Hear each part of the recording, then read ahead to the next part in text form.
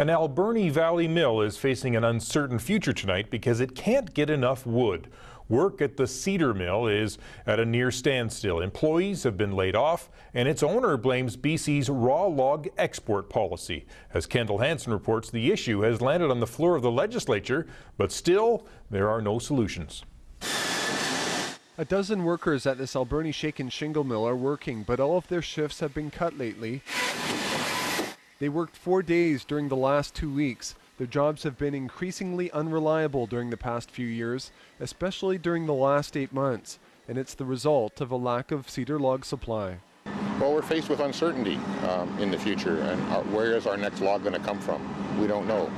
Butch Taylor has been running this company for 30 years. Finding logs has become such an issue, he's listed his company for sale. He says it's the BC government's fault. There are silly log policies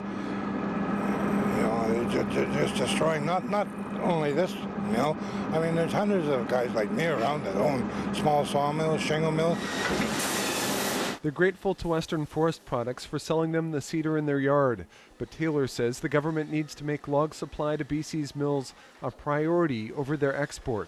If the mill could access more cedar, Taylor is certain he can employ 32 people again as he did a decade ago. There's got to be an answer to all this. It's got to be a happy medium where they can log the, the TFL and stuff, keep, keep, keep what we got going, plus export, you know.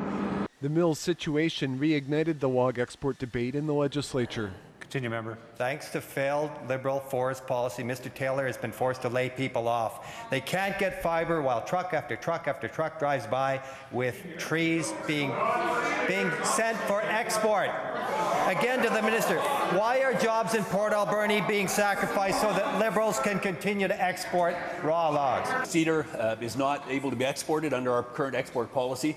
The uh, supply issues uh, for, with respect to that cedar shingle mill are not related to the log export policy. The minister said that there was no, there were no cedar logs leaving the province as raw log export, and that's not true. Um, we've pulled up uh, BC stats, and uh, over 200 thousand cubic meters of cedar have left the province in the last two years, signed off by this minister.